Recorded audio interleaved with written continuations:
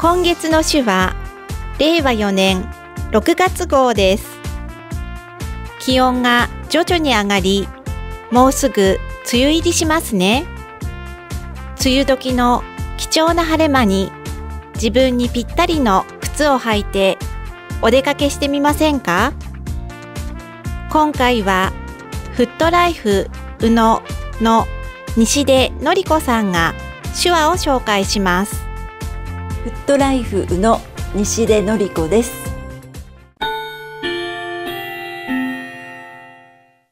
まずは私の靴のサイズは23センチですの表現をご覧ください。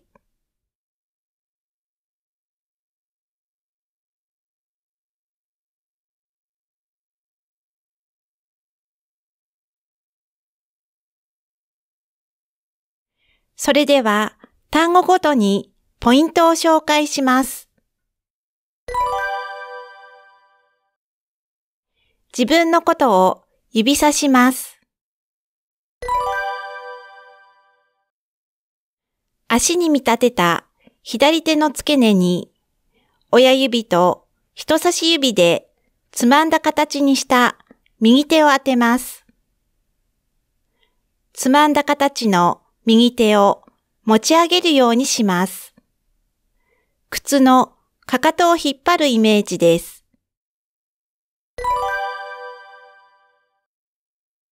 両手の親指と親指以外の4本指を少し曲げ、向き合わせます。向き合わせた両手の幅を広げたり縮めたりします。ものの大きさを表すイメージです。数字2を表す2本指を曲げます。曲げることで手話の数字で10の位を表します。2本指を曲げると20の表現です。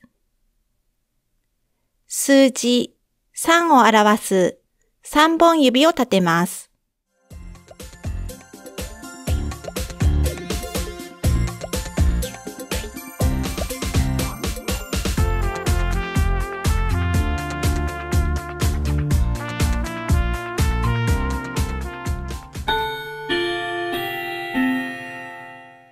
次に、あなたに合うサイズありますの表現をご覧ください。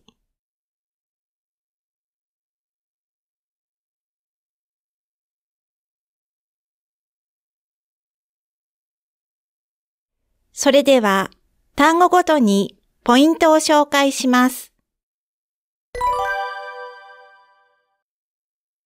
相手のことを指さします。両手の人差し指を合わせます。先ほどの表現と同じです。手のひらを下に向けて軽く押さえるように下ろします。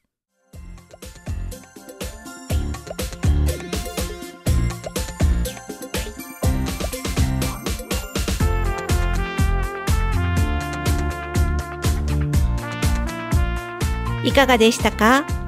のみしでは手話に触れていただくため今月の手話を月1回配信しています。次回もお楽しみに。